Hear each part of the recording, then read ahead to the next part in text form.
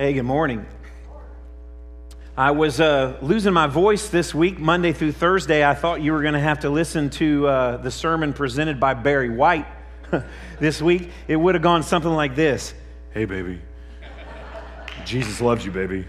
But Barry left the building, so uh, we're about 90% back. So hopefully I won't squeal, but um, you're, you're just stuck with me, not Barry, this morning. Last August 2021, at the elders' meeting, I made a confession around the table. It was the first time in my life that I confessed this to the group of elders at a church. I confessed that I was burned out and I was emotionally spent. The previous 10 months um, leading up to August was very dif- they were very difficult months. It started in October. Susie was in a um, terrible car accident. Um, she was fine, um, but if the expedition had hit her side of the car, she was in a Prius C. If, if that expedition would have hit her car six inches to the left of where it did, she, it, she would have been killed. Um, but praise God, you know, besides getting extricated from the vehicle through the roof because the car was so messed up, she had no broken bones, um, no internal injuries. It was just absolutely uh, amazing what God did to protect her. A couple months after that, though, Susie's mom had fallen in her house, and we got a call, and we went over to the house and uh, as I began to start to pick her up, um, she was complaining about her arm, her shoulder hurting. So we called 911, and it was good that we let them um, transport her because she had broken her collarbone. Well, a month later, she was on the ground again, and Susie called me over there, and we couldn't even get her to walk to the truck. She was so weak. Called 911 again to transport her to the hospital, and this time, the x rays revealed that there was some type of mass in her lungs. Well, shortly after that, she got better images um, done of the lungs, and she was diagnosed with stage three lung cancer. Well, being the one with the most flexible um, schedule and not knowing exactly what the expenses were going to be, you know, in, in my family, Susie's the breadwinner. Um, so we had to protect that because we didn't know whether we were going to have to have long term care for her mom, which we would have had to, to pick up the expenses for. So I volunteered to be the chauffeur to take her to all the doctor's appointments, which were greatly increased because now not only were there ortho appointments, but there was oncology and everything else in between. Four months later, um, Susie's mom spent the last 10 days of her life in our home under hospice care. Well, after the family funeral services were held in our home, we began um, the all new territory of liquidating an estate that we had never done before. Also, during that 10 months, I lost two um, of who I would classify as very close mentor friends um, that I had to participate in their funerals as well. And there was a lot of other stuff that was happening during that 10 month. And all, all those 10 months led to that particular Sunday morning confessing to the elders that I was burnt out. Well, the day after I confessed to the elders that I was burnt out, Susie and I received a phone call at 5:30 in the morning from our older daughter Caitlin, who was living in Virginia at the time.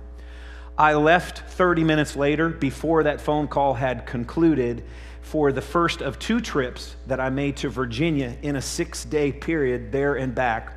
We moved our daughter and our two grandchildren um, one at age three and one three month old, into our master bedroom, and Susie and I moved out of the master bedroom into the third bedroom.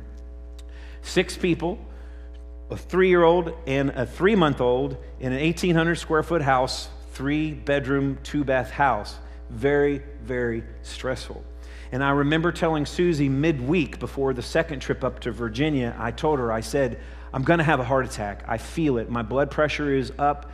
If I don't reduce my stress, I think I'm going to have a heart attack. Well, at the next elders meeting in September, after four weeks of the elders asking what they could do for me and how they could help me, they provided the writing sabbatical um, for the entire month of October, which I've mentioned to you before. And in addition to refueling myself by writing, because they knew that that's, that's how I roll, I was able to get some much needed rest and revitalization, experience renewal during that month, despite the fact that things were still absolutely crazy. The result of being smoked, the result of being burnt out for so long is that my weariness had placed intimacy with God and others in a prison cell. Rest is a key that was needed to unlock that cell door. Now, here's one of the life lessons I've learned, and maybe you've already learned this, maybe this isn't new to you. But if we desire to have intimacy with God and each other, we have to actively seek times of rest and renewal because weariness slowly leads us away from everyone. Without rest, which includes sleep, but it's much deeper than that, as you're going to hear from this message today, our mind, our body, and our spirit without rest, it will never be able to function based on the way God designed it to living in chaos mode, attempting just to survive, will be, we will become more and more unhealthy. And without the rest that Jesus provides, we end up leaning heavier and heavier upon ourselves. And what happens is we drift further and further into exhaustion. We drift further and further into frustration. Have you ever experienced the end of your rope when you were just about ready to lose it? Maybe you did lose it. Have you ever been burnt out, but you just, you just had to keep going? There was no other choice. Have you been in the state of mind where you were giving out what wasn't in the relational tank and you found yourself, you were deep into your emotional reserves? when you're weary and you're worn out, what's the impact on your relationships? I mean, do you tend to be more patient and more grace filled when you're exhausted? I know I don't. I tend to be more grace filled and filled with patience when I'm rested and I'm revitalized and refreshed. When we redline, when we tack out, we have a tendency to clear the room. We become difficult to live with, and often we're left alone with our attitude. And the atmosphere is one where it beckons for others to really enter into that environment with serious contemplation of the consequences. Because there are times that tend to these are times that tend to test the boundaries and push the buttons. So we've got to get replenished through rest and renewal before we severely damage all of our relationships. And that leads us to the question of how. Jesus said this in Matthew 11 28. He's, it's just a, such a simple sentence. He said, Come to me, all who labor and are heavy laden, and I will give you rest. What a simple statement from Jesus, and it contains what's needed to protect us. His provision can get us out of the deep pit of despair his provision can get us out of the deep pit of weariness that can creep up on us on life. He offers a true solution. So, we're going to examine this simple sentence, the three parts that make up this sentence, and we're going to, in the process, discover an oasis of renewal that it contains. The first statement phrase, first part of this phrase is simply this Jesus says, Come to me. And it's an intimate invitation. You've surely noticed that the greater someone rises in popularity, the greater that someone rises in prominence in this world, the less accessible they are to everyday people. You've noticed that. Security details are hired, protection measures are increased. They restrict their availability and their access to common, ordinary people. They tend to create a very small and a very tight, encompassing circle that keeps them insulated from everyone else. But this is not how Jesus rolls. This is not Jesus. In fact, Jesus is the greatest person ever to walk this planet. And he's willing to be approached by anyone and everyone the sick, the slave, the stray, the sinful, the shamed, the stupefied, the stranger, the simple, everyone. Jesus offers his invitation, this intimate invitation to the entirety of the entire world to come to him. He told everyone living in the universe and in every generation to seek him. Who does that? I mean, just think about that for a moment. For anyone else, That'd be totally and completely overwhelming. We, we would just be incapable to function, even to have a fraction of the world, say a millionth of the world, or just even just our own family members. If they all came to us at the same time, it'd probably spur an anxiety attack that we'd never recover from. But Jesus offers himself to the entirety of the globe. What an invitation. And inside that wonderful invitation, is a personal choice. Every individual will inevitably make a decision about Jesus. Jesus is present, He's alive, He's available, but we have to choose Him. And the choice is implied by the word come. Come to me. We have to spiritually go to Jesus. What does that mean? We have to yield our will. We have to yield to accept Him. We have to accept what He offers and how He offers it. He's not going to infringe on your free will, He's not going to take your free will away. His life was given because of your free will, your freedom of choosing. That's why He gave His life. And so this means that each of us has to make the personal choice to embrace and accept Jesus. We've got to use our freedom to will ourselves to Him. And the great news is is that every person every person has the ability to do just that. So there's an invitation, an intimate invitation. There's a personal choice, but inside that personal choice is a selection process. We can pick the Savior, or we can pick a substitute. When Jesus said, Come to me, we're made aware that there are other potential options that exist aren't there? Now, granted, these options are faulty, they're frail, they're filled with peril, but we still test them out, don't we? Haven't we all experienced selecting a substitute for trying to find rest? We pick a hobby, we throw in a hobby. This, this will be restful to, to take the, on this hobby. Or we select an individual, or an immoral action, or an addictive behavior, something or someone else, all in the pursuit of trying to discover rest. But that's what got us in trouble in the first place, because we were uh, distant from Jesus. And it usually leads when we grab substitutes for Jesus, it usually leads to a pathway of sin. So it's the Savior we have to select for the Messiah, Jesus Christ. He actually knows how to get us to the destination that we so desperately need, and that's rest. The second part of the phrase of Jesus' statement, after he says, Come to me, he says, All who labor and are heavy laden. It's universal in scope. Jesus said, Come to me, all who labor and are heavy laden. When Jesus says all, he means all. He doesn't mean some. He doesn't mean a few. He doesn't mean many. He doesn't mean the majority. He doesn't mean 95%. He doesn't mean 99.9%. He means 100% of everybody. The invitation is for everybody. And you might not think that God means you, but you'd be wrong. He means you. He means the person who's discounted. He means the person who's dismissed by the rest of the world. He means the immigrant. He means the criminal. He means the president. He means the guy who works, you know, at uh, Long John Silver's. He means the Republicans, as then the Democrats, and the independents, and everyone else else. He means those who are stupefied and, and, and stuck in communism. He means the free world and the unfree world, third world country. He means everybody. He's including every single human being. The offer is for anyone who labors and is heavy laden.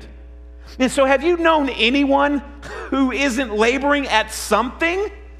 I've never met a single human being who is not laboring at something. Seriously, every single one of us, we have something. And so this offer is truly great. But guess what? Our God is greater, and He is able to deliver on this promise. Labor is universal. And is Jesus talking about, you know, just the normal workday and all the effort that it requires? Well, that would be included But work is actually good for us and it's connected to the God given purpose. We're going to talk about work for six weeks over August and a couple weeks in September because it's that important. But a better understanding of what Jesus is talking about has to do with weariness. Weariness can come from a host of daily activities and routines. It can come from depression. It can come from health issues or medical issues. Weariness can come from our sin. And Jesus is saying, listen, if you are laboring underneath that kind of weariness, come to me. He's pleading, just come to me. I have what you need. In other words, he has the solution. But he doesn't stop there, he includes burden carrying, which is also a universal issue. Who, who doesn't have some type of burden that we carry? If not on a daily basis, sometimes some of our burdens we're carrying on a minute by minute, hourly basis. And so this is something that affects all of us. And, and don't you get overwhelmed at times? I know this week alone, there were at least two times when Tim was totally overwhelmed. And I te- I'm trying to teach Maple not to use her proper name herself. She said Maple this, Maple that. And I just did it with Tim, okay? But I was overwhelmed. You know, eh, one time happened yesterday. I'm holding Tucker and he decides to just puke. Okay? Luckily, he was faced that way towards Nanny, towards Susie. And so between the second throw up and the third throw up, he got delivered to Susie, who ended up with it all over her for the second and the third. You talk about great timing for a preacher to have. That was great timing. And I, am just sitting there like, we, I mean, our house has been sick for like four weeks ever since the kids went to daycare. It's been nonstop. Every single one in the house right now is on antibiotics. I mean, we're not contagious. I mean, we're, we, are we are all on antibiotics, but we're just, it's just a mess. And I'm like, you have got to be kidding me. I mean, what, when is it going to stop? There, there's just times in our lives when we're overwhelmed all of us experience. It's a universal problem. Being heavy laden, it can include mental and physical and spiritual and any other aspect of life. And Jesus says this if you're overwhelmed with life, come to me. Just come to me. I have what you need. And what is that? Rest. The third part of Jesus' phrase, sentence, after he says, Come to me, all who labor and are heavy laden, he says this I will give you rest. Rest. Doesn't that, doesn't that just sound nice? It sounds amazing.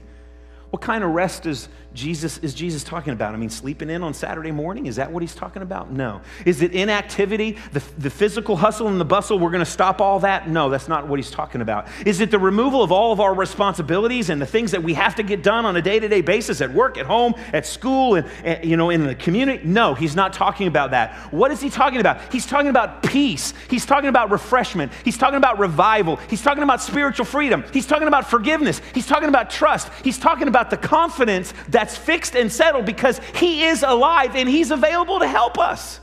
That's what he's talking about. And amazingly, no matter what stage of life that you're in, no matter what you've got going on, that is available.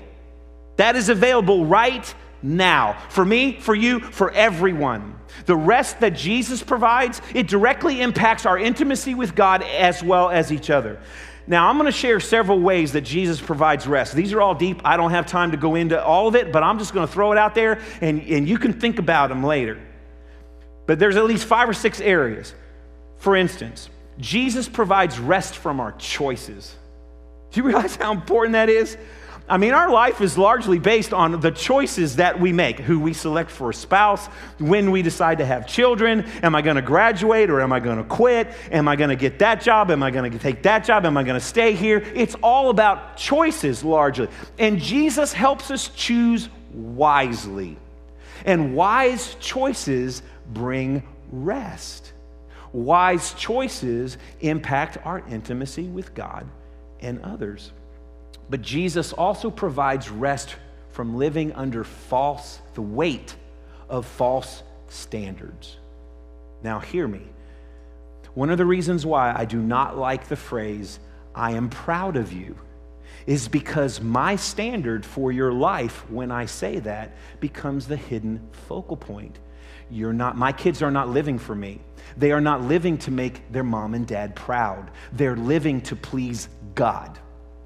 Period. And when I tell my kids I'm proud of you, it's like my standard becomes their standard of living. And that's a false sense of expectation. Trying to live life up to those false standards leads to weariness, it leads to burden carrying. And Jesus helps us by his eternal standard because we are to live for the audience of one. Do you realize how much easier that is? It's a lot easier to live for him than for everyone else. But Jesus also provides rest during unexpected situations and circumstances. And I shared several of those unexpected circumstances with you in the introduction of this message. We all find ourselves sometimes in moments when we're paralyzed, when we're immobilized. It can happen in the doctor's office when they use the C word and they say, You have cancer, right? And, and you, you're like, What? Okay, that's not supposed to happen. I, I didn't expect that. I mean, we, we'd already dealt with that. We'd already been down that road. It can happen when you're in the pastor's office. It can happen when you're in the, the boss's office. It can happen when you're at the teacher's desk. It can happen when you're caught in the midst of an embarrassing situation and you're like, God, I don't know how you're going to get me out of this, but please help me. You see, Jesus helps us. We lean into Him. He knows all of the complexities of every situation and every circumstance, and He is able to guide us through whatever it is we're going through. We need to lean into Him. He says, Come to me. Come to me. Jesus also provides rest from our personal, unrealistic goals and expectations. Now, listen, I'm not an advocate for laziness at all. Um, one, one of my daughters, one time, you know, this was about 12, 14 years ago, she never made the mistake again. She was trying to be funny and she called me lazy. Okay? I went off like, and, and there was people in the house when it happened. And I mean, there is nothing about my life that is lazy. And she, we laugh about it now, but it was not funny because there is nothing about my life that is lazy. So when I say that we have unrealistic goals and expectations, is because sometimes we're just so hard on ourselves. You know, we just have all these goals and these dreams and these expectations, and we put so much pressure on ourselves and so much pressure on other people, and all those standards and expectations. It can lead into a desert. We've got to become better at making His goals our own goals. What goal are we talking about? Like Philippians 3:14. I press on toward the high calling of God in Christ Jesus. I'm pressing heavenward that's my goal. Jesus also provides rest from trusting in our own righteousness. Righteousness is right living, and none of us are any good at it. You know, it doesn't matter whether you're watching online or whether you're in the room. You're not good at right, right living. I'm not good at right living. We're, we're, we're great examples of what not to do.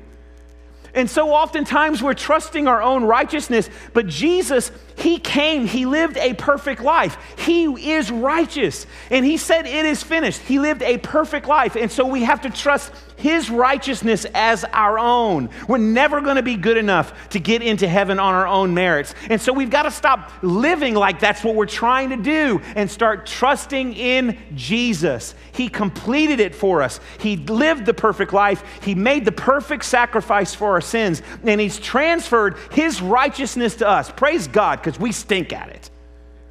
You know? And lastly, Jesus provides rest from the internal civil war that rages between the old and the new self. You know, I've been a Christian for 47 years. July 4th, 1976 is when I was baptized. It was a Sunday. You know, when all the country was celebrating 200 years, that was my spiritual birthday. I was nine years old. Was baptized 47 years ago. Now, you would think, I mean, after 47 years of being a Christian, you would think I'd be able to be better at it than I am. But there is a war that rages in me about that old self. When I became a Christian, when you became a Christian, you become a new creation. The new self has begun. Praise God. But that old self still needs to be dealt with.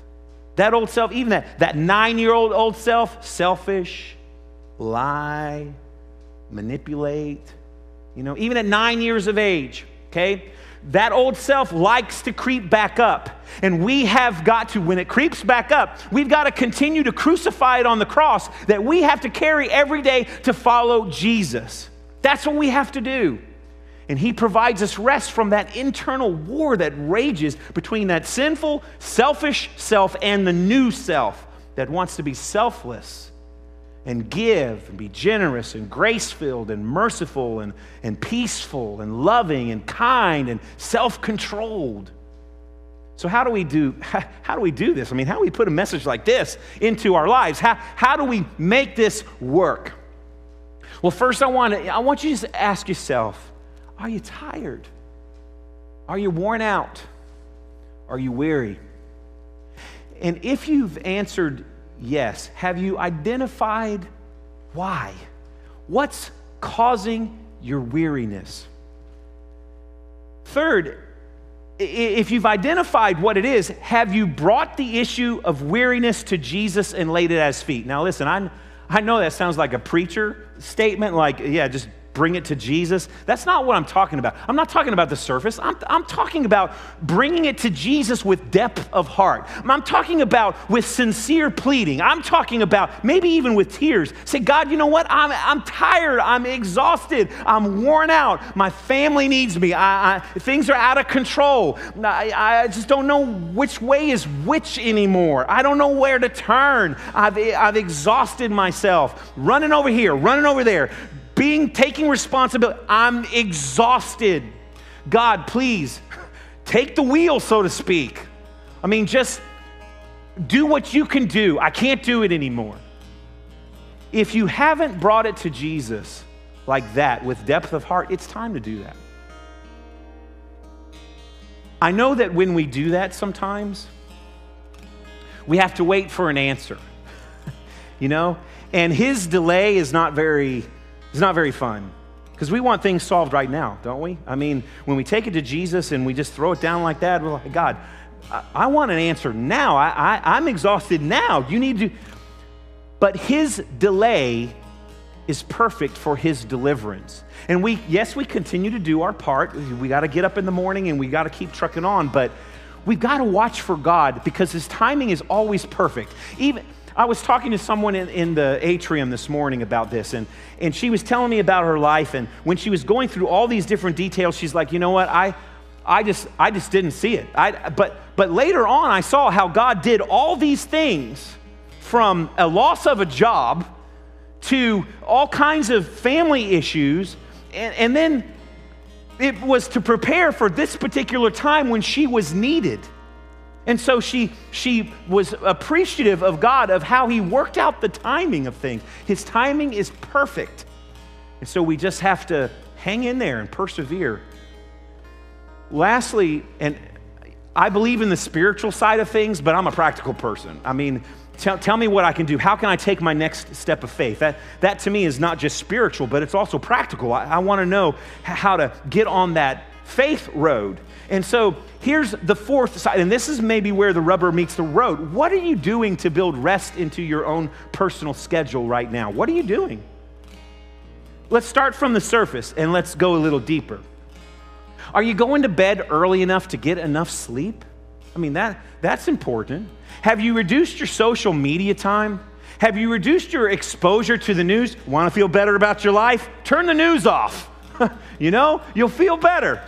Have you found a quiet place to just have a few moments of stillness and quiet with God every day? When was the last time that you opened up your Bible and you just read for fun, for enjoyment? Now, I'm not talking about getting through the Bible in a year, which is great, and checking off those four chapters. I'm not talking about that because that's on my to do list. I'm just talking about opening up the Bible and just enjoying it and just reading it with just for no other reason but for pleasure. When was the last time you, you went on a prayer walk with Jesus as your best friend and you walked down the street and you just talked out loud to Jesus as, as your best friend is walking with you and you're just talking about the things that are burdens in your life? How can you reduce the clamor and the noise that's in your life? How can you slow down and take stock of where you are physically and spiritually and mentally? You may need desperately, you may need rest. And help is available. Jesus is alive.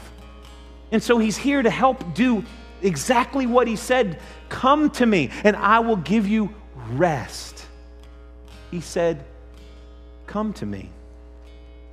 Have you? I mean, Ellie and Brandon and Jerry and myself, I mean, we're, we're the elders, we're, we're here to help you, but we want to help you connect with the ultimate rest giver. The question is, will you? If you need to talk to someone because your life's just out of control and you feel like you're losing at everything and you're just drowning and nothing's right and you just, or you just need to talk to someone, I, want you to reach out this week to us. We'll get back with you, we'll talk with you, we'll connect you with the ultimate rest giver. Now, listen, I know from personal experience, listen, the last 10 months, if you know anything about the last 10 months, not the 10 months that I shared with you, but the other 10 months since, since all this happened, it hasn't been any easier. It's been more difficult. But I can tell you from personal experience that without rest, intimacy will always remain way over there. We need rest in our lives. And I pray that we're wise enough, smart enough to go to Jesus. And he said, Come to me.